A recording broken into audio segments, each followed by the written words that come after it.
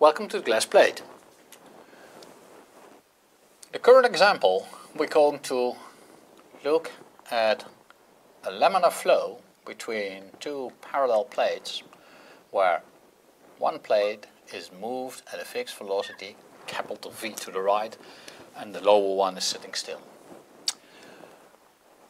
The system has a distance of capital D and there is a Newtonian fluid under steady state conditions flowing laminarly because of this.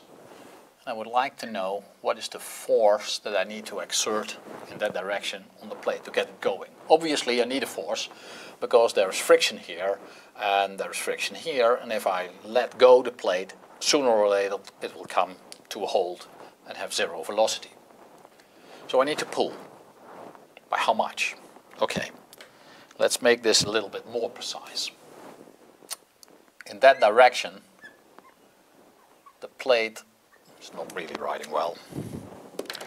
The plate has a size W, which is very big. In this direction, it has a length L, which is also very big.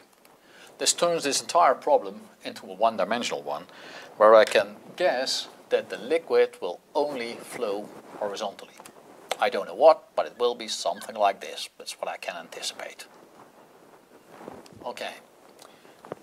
To find out in the steady state, I need to know what the friction is on this upper plate because that's exactly what I need to compensate by pulling. Thus eventually I'll run a force balance on the plate and I need to know what the force is that the fluid exerts on the plate. If I want to know that, I need to know the shear stress here. If I want to know that, I need to solve this motion. Alright, to find the motion of the liquid, we're going to equate sum of forces in the x direction is zero. I take a case when there is no pressure involved, delta P equals zero. All motion is coming from that top plate via friction.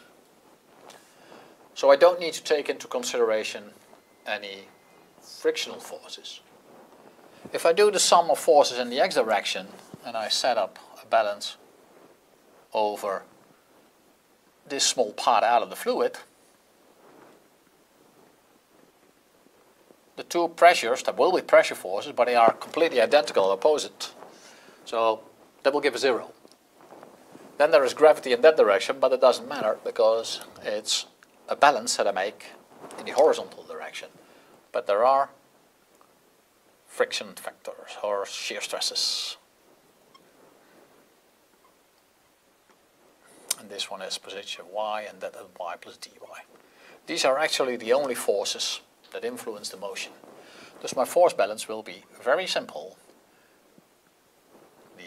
shear stress at the bottom of my control volume, that is at y, multiplied by this length dx, multiplied by the direction, the w, added to that the force on top, which is minus tau yx, y plus dy, this is zero which is another way of saying that the derivative of this is zero, or directly seeing it doesn't matter where you take tau, it's gotta be the same everywhere.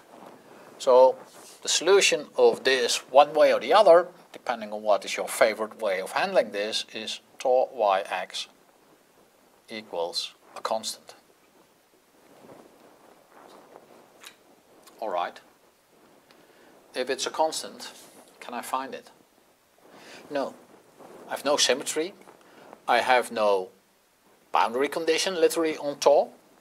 So I need to live with this coefficient and compute the velocity. Because this is also equal to minus d dy of the horizontal velocity. Now I can readily solve for the velocity because on the velocity I have two boundary conditions. So Vx as a function of y equals minus c1 over mu times x plus c2.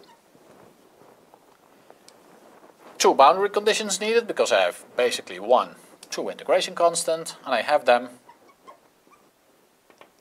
at x equals uh, y equals, well this should be y, it's a function of y, and this should be y. At y equals 0 at the bottom, there's the stick condition on the bottom plate, so Vx should be 0, and thus C2 is 0. At y equals d, Vx should be equal to the velocity capital V of the plate, and thus V equals minus C1 mu d. Out of which I compute C1 because that's what I need for forcing. So C1 equals minus mu V d. And thus I have Now I need a force balance.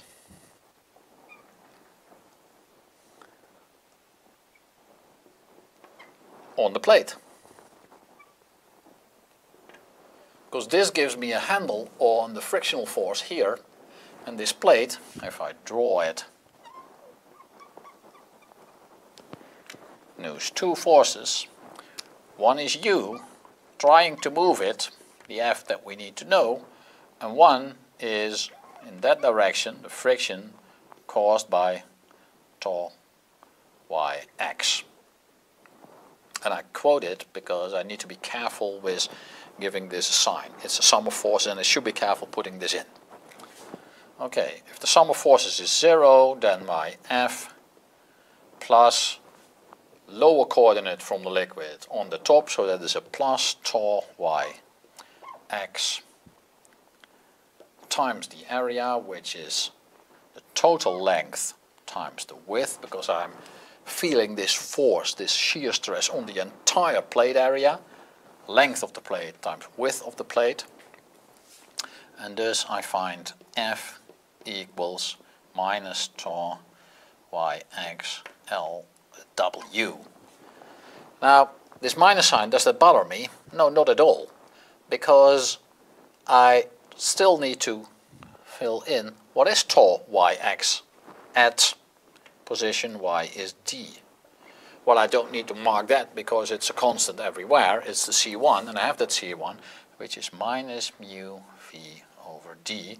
This minus sign and that minus sign take care of each other, so the force that you, that you need to exert equals mu V D times the area of the plate, which makes sense. And this is positive and that is positive, so this force is positive, meaning that it runs in the positive x direction, as I can understand, because I need to pull it in that direction.